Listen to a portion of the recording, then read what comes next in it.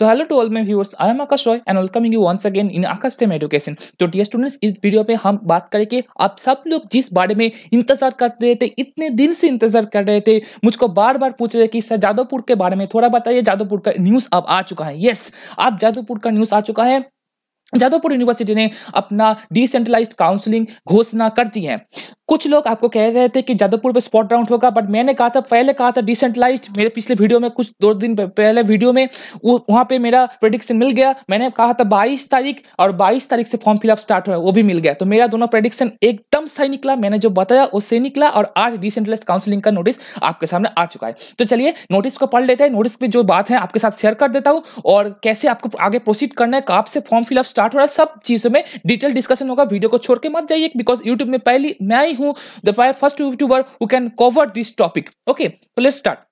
तो at first आपको आना पड़ेगा यादवपुर के ऑफिशियल वेबसाइट पे जिसका लिंक आपको डिस्क्रिप्शन में ऑब्वियसली मिल जाएगा यहाँ पे आके अगर आप एक्टिव नोटिस सेक्शन पे आए एंड पहला नोटिस आपको जो देखने को मिलेगा general information regarding the decentralise counselling for the admission of vacant seats undergraduate degree programmes under the faculty of engineering and technology F के अंडर आप लोगों को डिसेंट्रलाइज काउंसिलिंग होने को देखने को मिलेगा ये पहला नोटिस है आपका अगर इस नोटिस पे आप क्लिक करोगे तो आपके सामने ऑफिशियल नोटिस जो है ऑफिशियल नोटिस ओपन हो जाएगा मैं आशा करता हूँ आप ऑफिशियल नोटिस यहाँ पे देख पा रहे होगा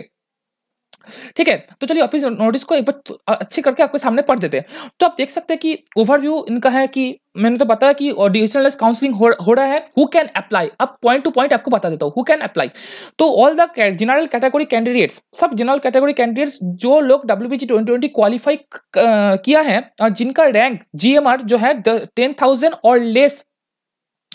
Uh, or less and result category candidates having qualified 2020 with any valid GMR are not admitted any UG program under the Faculty of Engineering Technology means जो जनरल स्टूडेंट्स है जिनका रैंक दस हजार से नीचे है और जो students S C S T OBC OBC B PW D category reserve category से है और उनका कोई भी रैंक हो सकता है बट अगर वो लोग जादवपुर में अभी तक एडमिशन नहीं जादवपुर में उनका कोई इससे आगे नाम नहीं था मीन्स आप पहली बार जादवपुर पे अप्लाई कर रहे हो वो लोग अप्लाई कर पाएंगे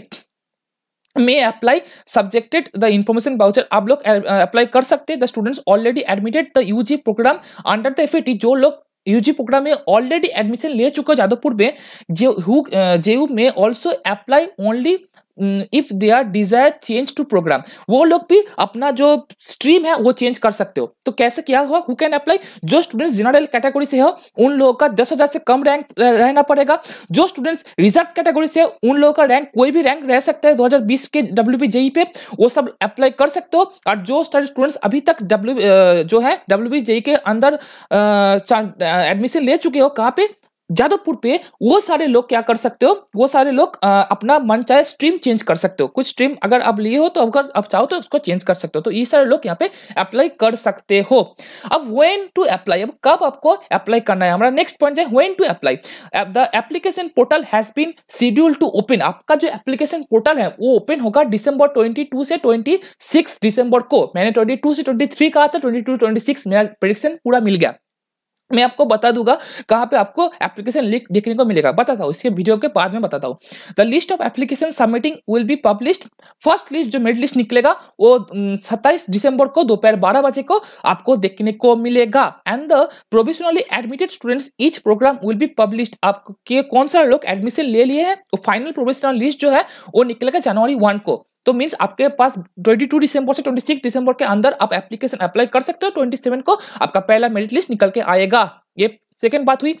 उसके बाद इंपॉर्टेंट क्या बातें हैं उसके बाद इंपॉर्टेंट बातें मैं आपको बता देना चाहता हूँ कि application process okay application process को थोड़ा बता देता हूँ एप्लीकेशन प्रोसेस क्या होगा the application process will be done in online online तो होगा and who are all the applicants must register W B J twenty twenty जिन लोगों का W B JEE twenty twenty का रोल नंबर उनका rank valid जो rank है and valid email ID phone number से उनको रजिस्ट्रेशन एंड करना पड़ेगा पहले आपको आपका डब्ल्यू का रोल नंबर आपका रैंक जो है रैंक देके और आपका ईमेल आईडी देके और वैलिड फोन नंबर देके आपको रजिस्ट्रेशन कर लेना पड़ेगा अब कहाँ पे आप रजिस्ट्रेशन करोगे आपको दिखा देता हूँ उसके बाद आपको लॉग इन करना पड़ेगा अब लॉग इन करके आपको फॉर्म फिलअप जो है फॉर्म फॉर्म फिलअप करना पड़ेगा जो एप्लीकेशन फी है वो फी आपको पे करना पड़ेगा ठीक है ये तो चीज हुई उसके बाद है फी पेमेंट अब फी पेमेंट आप कैसे करोगे फी पेमेंट आपको कितना फी पेमेंट करना पड़ेगा all non O applicants means जो लोग फ्रेश एप्लीकेशन कर रहे हो यस फ्रेश दिस जो इस राउंड के लिए फ्रेश हो उनको पे करना पड़ेगा five thousand two hundred and ten rupees ये उनको पे करना पड़ेगा as refundable and adjustable deposit उनको देना पड़ेगा और जो सारे स्टूडेंट्स एफ के अंदर हो जादवपुर पे ऑलरेडी हो और जो लोग स्ट्रीम चेंज करना चाहते हो उनको फाइव हंड्रेड रुपीज पे करना पड़ेगा ओके okay, ठीक है और ये जो एप्लीकेशन प्रोसेस पे रजिस्ट्रेशन है ये फ्रेश स्टूडेंट्स के लिए रजिस्ट्रेशन है और जो लोग ऑलरेडी वहां पे हो आप लोगों को सिर्फ लॉग इन कर लेना पड़ेगा तो this is the fee payment case हो गया and at last the selection and admission last point जो है नोटिस का बता देता हूँ selection will be use based upon the W B G M R only तो डब्ल्यू बी का आपका जीएमआर जो है डिसनलाइज का जो नियम है आप लोग को मैंने बता दिया था कि जीएमआर को सामने रख के आपका काउंसलिंग का रिजल्ट आएगा तो ये है अब एप्लीकेशन कहां से कहां पे जाके करना है ये दिखा देता हूं यहाँ पे आपको जाना है एक बार दिखा देता हूं यहां पे आप जो ऑफिशियल वेबसाइट पर आए आपको स्क्रॉल करके थोड़ा ऊपर जाना है जाने के बाद यहाँ पे देख सकते हैं link to the postgraduate and undergraduate admission under the faculty of engineering and technology F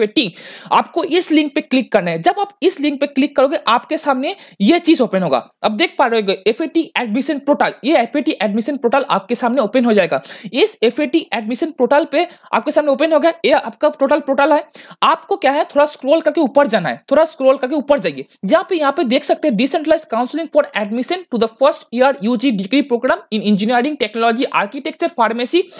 तो ये सब जो कोर्सेस है इंजीनियरिंग में हो सकते हैं बीटेक हो सकते हैं इंजीनियरिंग में बीटेक है आर्किटेक्चर है फार्मेसी सब स्ट्रीम में आप भर्ती हो सकते हो आपको यहाँ पे आना पड़ेगा यहाँ पे नोटिस तो मैंने आपको बता दिया और यहाँ पे इस एरिया में आपको मिल जाएगा आपका एप्लीकेशन लॉगिन करने का प्रोसेस यहाँ से आपको मिल जाएगा यहाँ पे आपका एक और